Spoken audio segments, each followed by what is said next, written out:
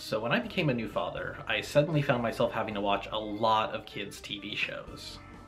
You kidding me, sir? Fine, fine, you called me out. I'm an overgrown man-child who never stopped watching kids' TV shows. But a couple of times I've tried to get my son interested in the shows that I liked as a kid, with very mixed results. He just really seems to prefer the shows that were made for his generation. Well, duh.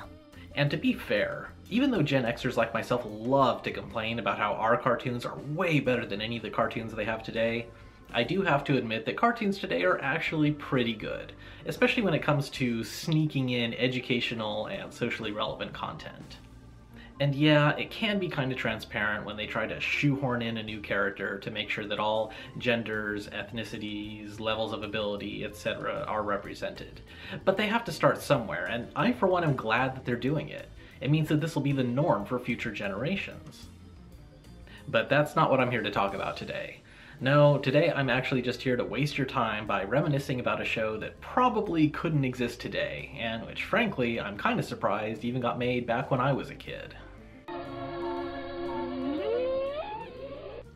Yes, yes, we've done that joke before. Ha ha, I'm old. If you had Nickelodeon back in the 1980s, I know you watched You Can't Do That on Television. Don't even try to lie about it. But for those of you who didn't have cable, or who grew up after the show had already been taken off the air, or who maybe just blocked it from your memories, let's take a look back on why you could do that on television, but definitely can't anymore.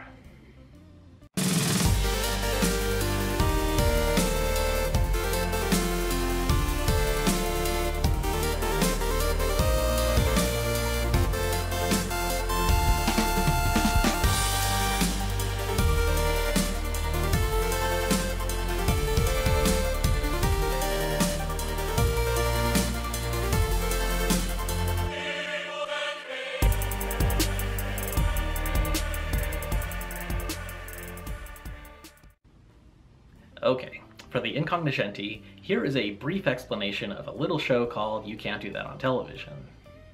Let me explain. No, there is too much. Let me sum up. It was basically just a sketch comedy show featuring a revolving cast of kids, uh, usually about six to eight different kids per episode, ranging in ages from about 8 to maybe about 17. All of the adult roles were played by two immensely talented and underrated actors, Abby Hagyard, who played all the ladies, and Les Lye, who played at least 15 different recurring characters, including the father, Lance Prevert, and the teacher, Mr. Schittler. I mean, look at that name, especially paired with that mustache, and then tell me this was appropriate for a kid's show. The whole thing was sort of a metafictional show within a show, which had the kids playing themselves on the set of a TV show, while also performing in the sketches. Each episode had a different theme, like money or popularity, but despite the different theme and the revolving cast members, each episode had some very similar features. There were the opposite sketches, the locker jokes, and of course the hallmark water and green slime that would drop down on anyone who said water or I don't know, respectively. There was also a relatively large but still limited number of settings for the sketches, including a living room, a dining room, a classroom, a school bus, and a video arcade, among others. But now we're starting to get into why this show wouldn't fly today due to its dark and sinister nature.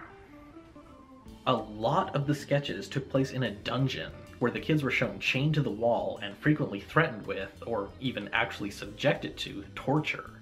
Ow! Come on, cut it out. It's torture. That hurts. And apparently, right outside the dungeon was the execution ground, where the kids would face the firing squad for trivial offenses. Of course, the kids were rarely shown being shot, although it did happen on occasion. More often, the sketch would end one second before the squad opened fire, or the kid would trick the leader of the firing squad into getting shot in their place. Basically, the best possible outcome of these sketches was that the kid tricked an adult into being shot to death you know, nice, light after-school entertainment. Even sketches that took place in relatively mundane locations, such as the school, often featured the detention room where, again, a kid was often seen chained to the wall in the background, and kids were again given outlandish punishments for minor offenses. But the most horrific scenes by far took place inside Barth's Burgers, where the kids were routinely subjected to absolutely disgusting meals. Most skits in Barth's ended with the kids puking like white girls at Mardi Gras once they found out what Barth had been putting in their food. A list that included sewage, vomit, cockroaches, rats, and dead pets. A few sketches even ended with one or more of the kids dying of food poisoning right in the booth, where it was not only suggested but outright stated that their corpses would soon end up on Barth's menu. Back. I guess we won't be hearing from him anymore. No, no, but we'll be tasting him for many weeks to come. Who do you think's in the burgers? I heard that. Oh, Bart! And hey, I'm not too proud to admit that I had at least one Barth related nightmare as a kid, and I doubt I'm the only one. I dropped the bar. So why did we let them get away with this? Why weren't people more outraged? Well, first and foremost, because it was funny.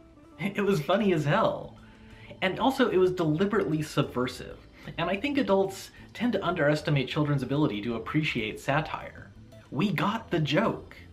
We knew that this show was funny because it was the exact opposite of wholesome educational TV. Rumor has it, Mr. Rogers hated this show, and not without reason. Rogers, neighborhood pusher, will not be seen today. But frankly, I never saw anything that was really harmful and You Can't Do That on Television. Sure, it wasn't exactly educational, but it treated the young audience with a great deal of respect. It didn't pander, it didn't condescend, it wasn't even trying to sell anything, and if you remember kids' TV in the 80s, you knew that most shows were really just glorified toy commercials. If Mr. Rogers was like our parents, you know, loving, nurturing, and always looking out for our best interests, then You Can't Do That on Television was like the cool uncle who treated us like an equal and let us feel a little bit more like an adult, like actual people with identities separate from those of our parents, and I think that's good for child development. When it comes down to it, the darker aspects of the show actually did two very important things for a kid's audience. First, it validated a lot of the fears that a lot of kids have, but in such a ridiculous way that it let us laugh at them a little. Aren't you as scared of my hypodermic needle? No? Uh, What's the matter, you stupid? Yeah? When you're a kid, it feels like every mistake you make is gonna land you in a dungeon, or in front of a firing squad, or that even something like detention can turn into some cruel and unusual form of punishment. But when those fears get turned into the subjects of jokes, and jokes that are made for you to laugh at, not for others to laugh at you, then it really eases the mind and it makes those fears easier to deal with. Second, a lot of the sketches on the show were kind of a form of wish fulfillment. When the kids on the show lost a battle, the kids in the audience could commiserate.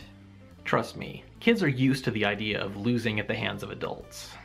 You eat all these Brussels sprouts, and I mean all of these Brussels sprouts. You will go to your room. You will clean it up. You will do your homework. You will write a thank you letter to your great aunt. mom like Alice. this, you will who wax needs the enemies? You will rake the cat. You will paint the garbage. Now eat.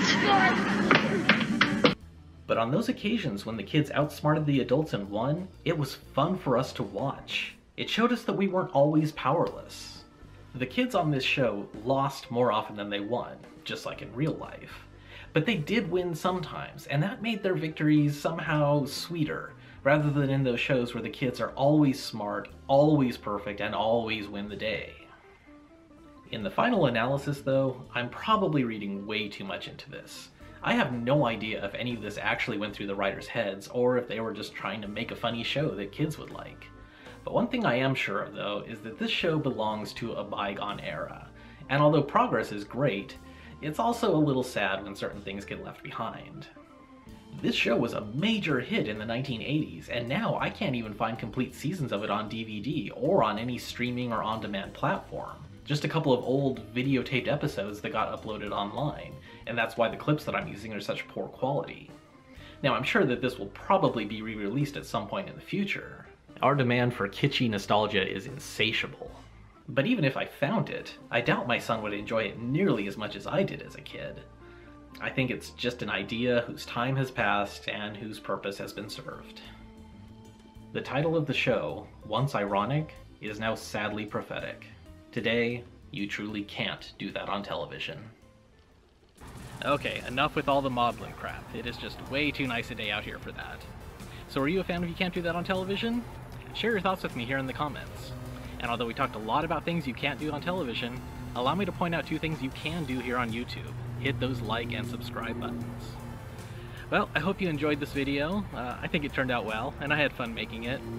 If you didn't like it, uh, I mean, I don't know what to tell you. It's... Oh! Oh! Oh, that's terrible! Oh! Oh, that is gross. Oh, I really asked for that, didn't Oh! God! Where is this coming from? Oh. Okay, I'm beginning to see why this show went off the air. This is bad.